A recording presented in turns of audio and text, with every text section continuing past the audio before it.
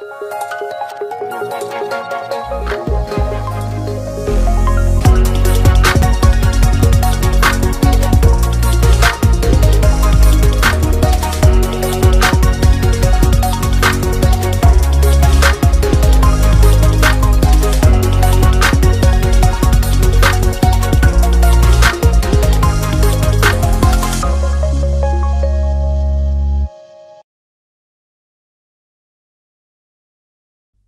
Hy kind van God. Onthou jy nog toe jy die wêreld wou verander? Onthou jy kaalvoet hardloop op die gras, 'n tas vol drome en prentjies en geskenkies vir almal waarvoor jy lief was? Onthou jy dans in die reën want God het die wêreld geseën en onthou jy hoe jy jou Bybel aan die armes geleen het? En hoe jy dan gekyk het hoe die druppels op die kar se ruit resies hou? En wie wen? Kind. Mens. Wie wen? En nou jaag jy rond van een bestemming na die ander op pad nêrens heen. I guess that's why they call us the human race. Kom ons face dit. Ons het eens gedink die lewe is 'n lied en toe verbied iemand jou om te hard te sing. Hulle het gesê lag sag kind en moenie te veilig voel nie en moenie vergeet van jou doel nie. Ek dink nie God het dit so bedoel nie. En gejaag op sosiale media en hulle almal jok vir ons deur slegs die sleg te wys. Kind van God, het jy vergeet om Jesus oral om jou te sien? Kyk. Daar is 'n lys want sien, sy droom vir jou is groter as wat jy ooit sal kan dink. Hy wil nie hê jy moet in 'n poel van betekenisloosheid verdrink nie. Mens. Wees mens wees. Jy kan dit alles in jou Bybel gaan lees. God se droom vir Abraham en Jakob, nageslagte wat strek so ver en so baie soos die stof op die aarde, die sand in die see en die sterre in die hemel en hulle bring seën. Jesaja, 'n profeet wat die goeie en slegte nuus deel en moenie vergeet van die siegeel nie. Eers leweloos, maar nou met nuwe lewe en seën. Die wêreld droom saam met God, een vir een kyk, Josef en die buigende koringare, 'n geseënde leier. En nou, na al hierdie jare, jy. Wat is God se droom vir jou binne sy wêreld? Is dit vir jou iets wat vreesaanjaend lyk of lees jy sy woord met oop oë? So, kind van God, gaan jy weer droom?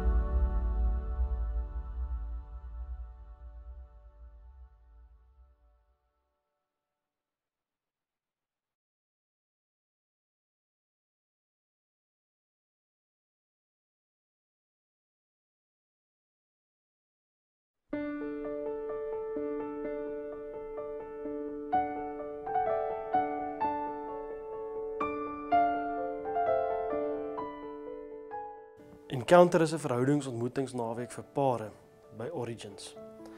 Encounter is eintlik baie meer as 'n verhoudingsnaweek of verhoudingswerkswinkel. Dit is 'n ervaring van ontmoeting en naby wees vir pare. Gewoonlik in 'n verhouding is daar ek en jy en God in die spasie tussen ons. Encounter is 'n naweek waar hierdie drie bymekaar kom. Waar ons pare begelei op 'n baie praktiese manier iets van naby wees te ervaar.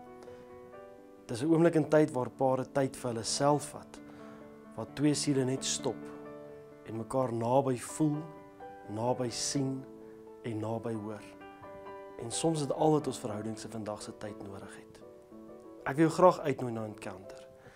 En miskien kan hierdie ervaring waar julle mekaar weer naby beleef, nuwe moontlikhede in julle verhouding skep.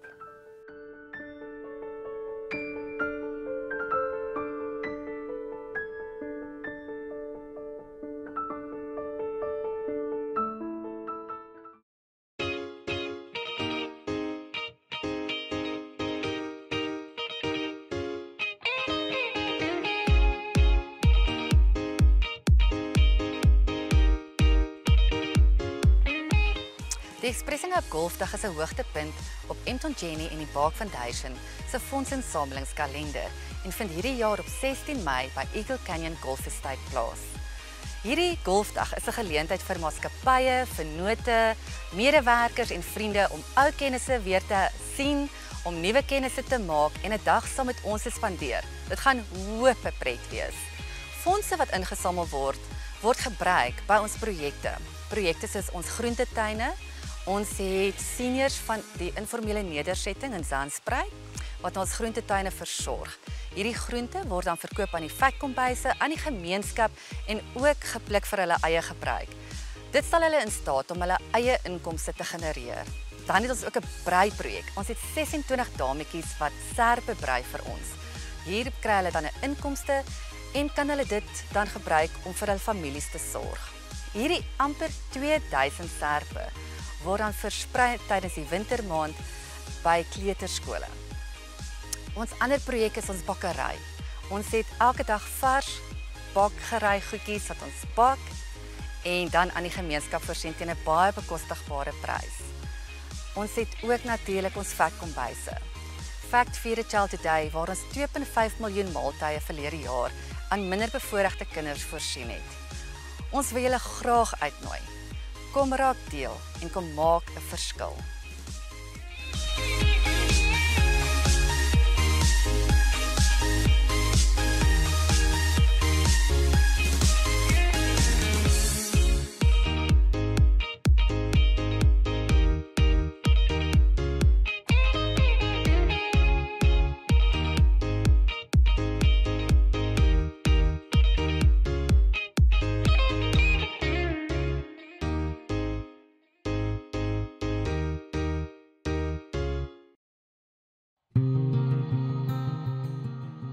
Die Here sorg vir my soos 'n herder wat sy skape oppas. Ek het niks meer nodig nie. Omdat die Here by my is, bekommer ek my nie. Op 17 tot 19 Mei 2019 is daar 'n naweek retreat saam met retreatleier Barry van der Merwe met die tema Ek sal nie bang wees nie. Kom word stil en verken Jesus se liefde en beskerming in Psalm 23.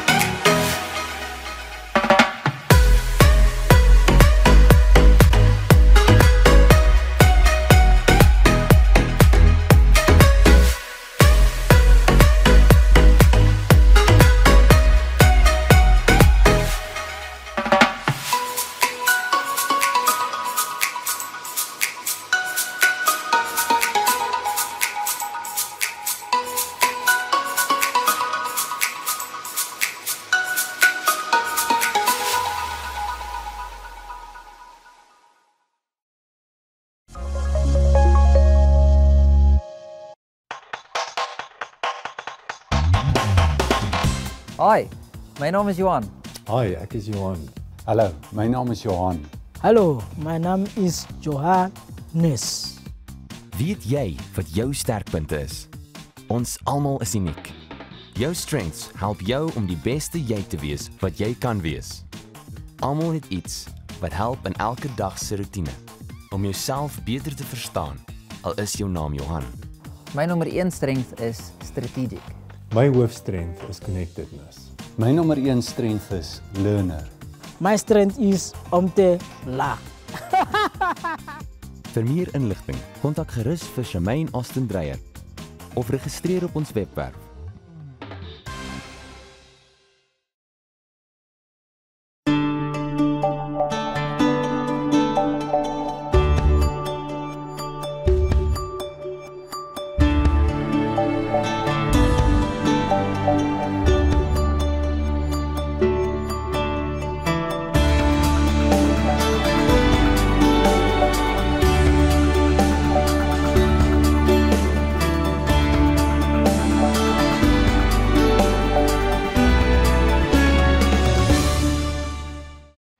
Dietrich Bonhoeffer skryf: Once you become deaf to your neighbor, you become deaf to God.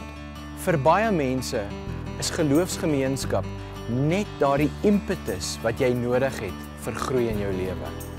Ons kan God op 'n baie unieke manier beleef wanneer ons ons lewens naby aan mekaar deel.